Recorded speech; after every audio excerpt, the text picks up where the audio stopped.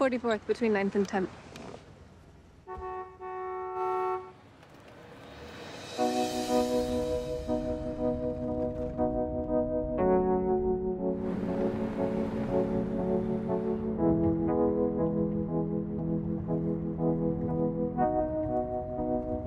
It's nice you're not on your phone. See a human, not plugged in. It says a lot about you. I like to think so. What's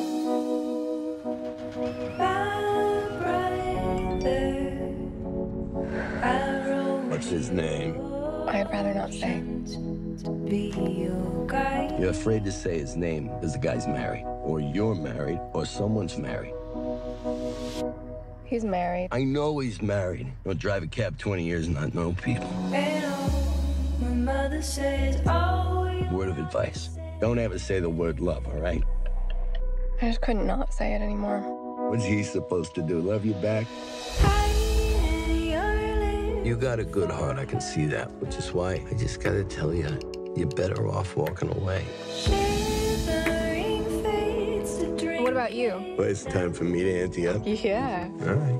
Like, how'd you meet your wife? She threw up in my cab. she was like a summer day, you know? Not too complicated, just beer and bag of chips, and we were set. Do you miss her? I do sometimes. Yeah.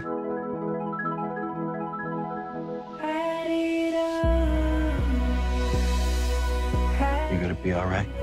I don't know.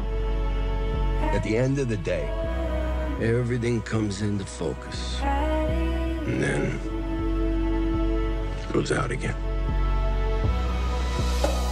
But that's a story for another cab, right?